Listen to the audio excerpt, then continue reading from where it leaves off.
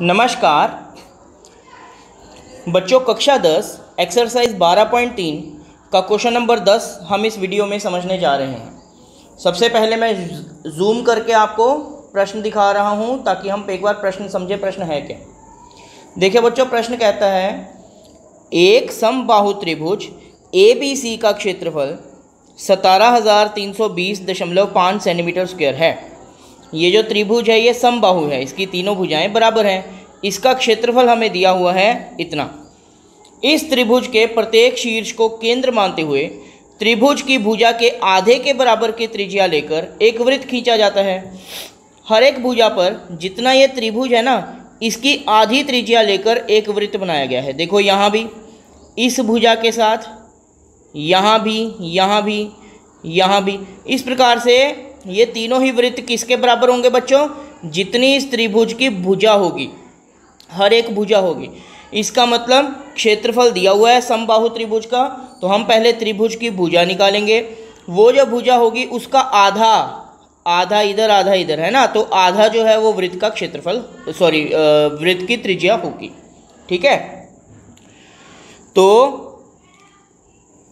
छायांकित भाग का क्षेत्रफल। अब ये जो छायांकित भाग है, हमें इसका क्षेत्रफल निकालना है। ये छायांकित भाग आपको दिखाई नहीं दे रहा होगा, मैं किस, इसको ग्रीन कलर से थोड़ा सा शेड कर देता हूँ। इस, ये हमने क्षेत्रफल निकालना है। तो बच्चों, ये क्षेत्रफल कैसे निकलेगा? देखो सीधी सी बात ये है। ये है त्रिभुज का क्षेत्रफल। ये है एक त्रिज्य खंड ये है दूसरा त्रिज्य खंड ये है तीसरा त्रिज्य खंड तीन त्रिज्य खंडों का क्षेत्रफल प्लस करेंगे, त्रिभुज में से माइनस कर देंगे तो ये बच जाएगा। मैं दोबारा बोल रहा हूँ, देखो त्रिभुज है पूरा। इसमें से ये वाला त्रिज्य खंड ये वाला त्रिज्य खंड और ये वाला त्रिज्य खंड माइनस करेंगे तो बाकी ये ग्रीन वाला पोर्शन यानी कि छायांकित भाग बच जाएगा। तो सबसे पहले बच्चों, आइए शुरू करते हैं इसको। सबसे पहले इस प्रश्न में हमें चाहिए, त्रिभुज की भुजा। तो हम लिखेंगे त्रिभुज का क्षेत्रफल। ये हमें दिया हुआ है बच्चों, सतारह हज़ार तीन सौ बीस दशमलव पाँच सेंटीमीटर स्क्वायर। ठीक है? त्रिभुज के क्षेत्रफल का फार्मूला, यदि समबाहु त्रिभुज है, देखो यहाँ लिखा है समबाहु, यानी तीनों भुजाएँ बराबर है इस त्रिभुज के। तो समबाहु त्रिभुज हो तो उसके क्षेत्रफल का सूत्र होता है फार्मूला होता है रूट थ्री बट, बटा चार रूट तीन बटा चार ए स्क्वेयर बराबर है सतारह, तीन सौ बीस दशमलव पाँच सेंटीमीटर स्क्वेयर अब बच्चों क्वेश्चन में हमें दिया गया है रूट तीन कितना लेना है? एक दशमलव सात तीन दो ज़ीरो पाँच लेना है। तो देखो क्या करेंगे ए स्क्वेयर को यहीं छोड़ देंगे, यहाँ बच गया सतारह, तीन सौ बीस दशमलव पाँच। ये चार इधर ए स्क्वेयर के साथ भाग हो रहा उधर जाएगा तो चार यहाँ पे गुना हो जाएगा। रूट तीन यहाँ पर ए स्क्वेयर के साथ गुना हो रहा है, इधर जाएगा तो ये रूट तीन भाग हो जाएगा। अब बच्चों ध्यान से देखना है, सतारह तीन सौ बीस दशमलव पाँच गुना चार बटा। रूट तीन जो है बच्चों, उसकी वैल्यू दी हुई है एक दशमलव सात तीन दो ज़ीरो पाँच। सात तीन दो ज़ीरो पाँच। अब आप ध्यान से देखेंगे तो ये आपस में कट सकते हैं, लेकिन सिर्फ़ एक दशमलव का अंतर है। तो दशमलव के अंतर को हटाने के लिए हम क्या करेंगे? ये दशमलव हटाएँगे। दशमलव के बाद एक अंक है तो यहाँ लग जाएगा दस। ये दशमलव हटाएँगे। दशमलव के बाद एक, दो, तीन, चार, पाँच अंक हैं तो यहाँ पाँच ज़ीरो लग जाएँगे। चार, पाँच। इस प्रकार से। ऐसे ही करते हैं ना बच्चों? अब जो कटता है उसको काट देना है हमने। तो देखो, ये सतारह दो किसी और पेन से कर लेते हैं। चलो, ग्रीन पेन से कर लेते हैं। एक, सात, तीन, दो, ज़ीरो, पाँच। एक, सात, तीन, दो, ज़ीरो, पाँच। तो ये रकम तो इस रकम से कट गई। एक, ज़ीरो से ये एक, ज़ीरो कट गया। बाकी हमारे पास बच गया चार गुना एक हज़ार। ठीक है? तो अब हम इसको आगे हल करते हैं। ए स्क्वेयर आ गया, चालीस हज़ार। चालीस हज़ार जो होता है, वो होता है दो सौ का स्क्वेयर ठीक है? दो सौ गुना दो सौ होता है चालीस हज़ार, बच्चों। देखो, दो दूनी चार, ज़ीरो ज़ीरो का स्क्वेयर होगा चार ज़ीरो। ठीक है? तो अब बच्चों ए का स्क्वायर यदि 200 के स्क्वायर के बराबर है तो ए किसके बराबर हो गया 200 के बराबर हो गया। इसका मतलब ए आ गया है 200 सेंटीमीटर, यानी कि त्रिभुज की ये जो भुजा है, या ये भुजा है, या ये भुजा है, क्योंकि ये समबाहु त्रिभुज है, तीनों भुजाएँ बराबर होंगी तो ए 200 सेंटीमीटर का मतलब है त्रिभुज की प्रत्येक भुजा आ गई है 200 सेंटीमीटर। अब बच्चों, इससे हमें क्या पता चलता है? यदि त्रिभुज की भुजा 200 सेंटीमीटर है तो ये जो वृत्त है, ये सर्कल है इसकी त्रिज्या, ये त्रिज्या है इसकी, ये किसके बराबर होगी? ये बराबर होगी त्रिभुज की भुजा के आधे के बराबर। तो हम लिखते हैं वृत्त की त्रिज्या, यानी कि त्रिभुज की भुजा 200 सेंटीमीटर का आधा, यानी कि 100 सेंटीमीटर। ठीक है बच्चों? अब मैं आगे अपना प्रश्न करता हूँ। हमें निकालना है छायांकित भाग का क्षेत्रफल। मैं वही लिखने जा रहा हूँ। छायांकित भाग का क्षेत्रफल। यह किसके बराबर होगा? त्रिभुज के क्षेत्रफल। तो मैं यहाँ लिख रहा हूँ, ताकि आपको समझ भी आए।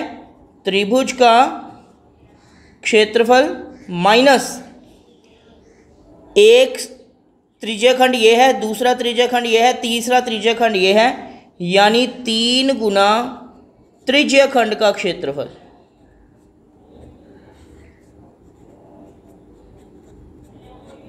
ठीक है बच्चों, त्रिभुज का क्षेत्रफल माइनस तीन गुना त्रिज्य खंड का क्षेत्रफल।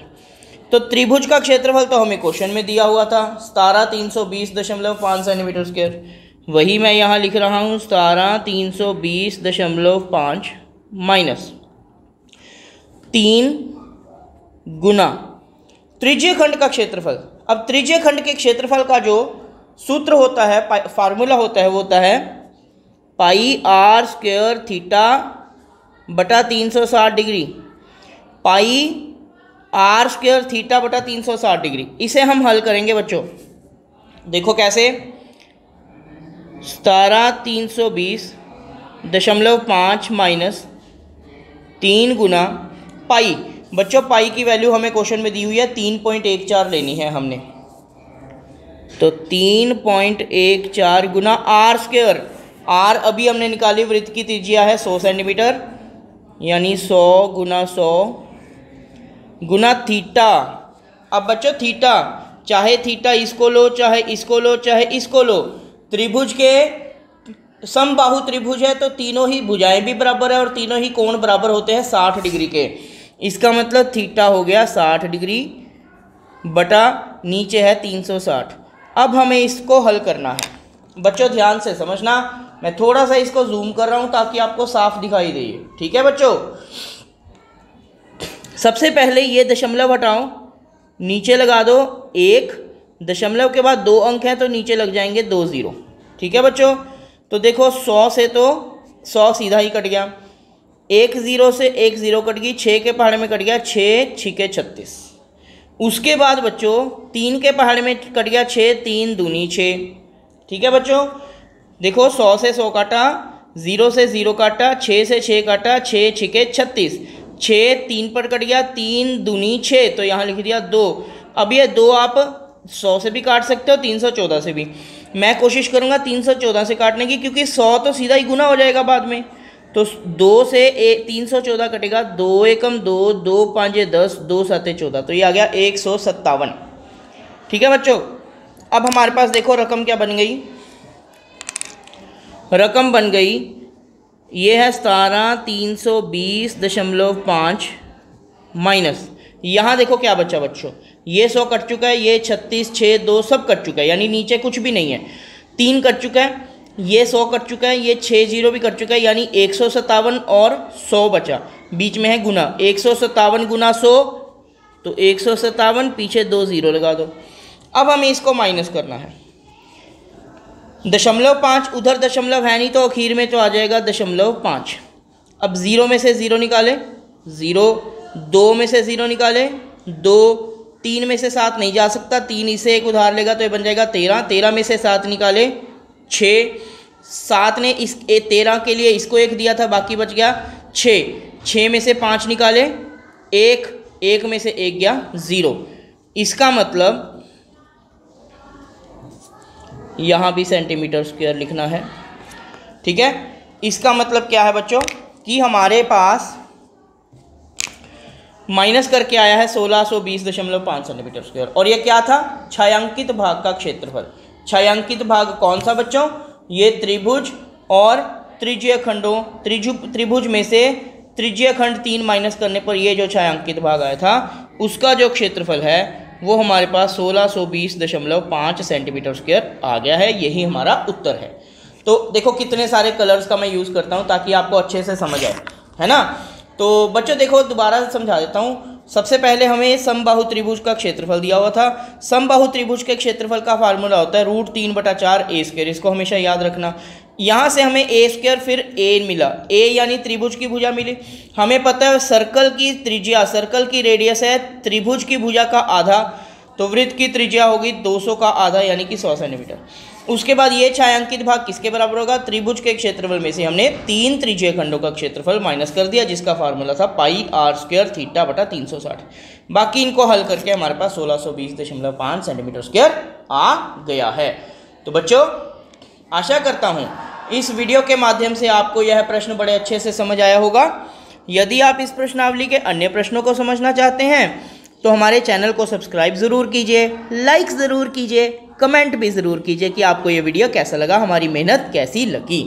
ठीक है बच्चों, कमेंट करना नहीं भूलना, सब्सक्राइब करना नहीं भूलना, वहाँ पर आपको, मेरे चैनल पर आपको बहुत सारे प्रश्नों के वीडियोस मिल जाएँगे, वहाँ से आप इनको अच्छे से समझ सकते हैं। धन्यवाद।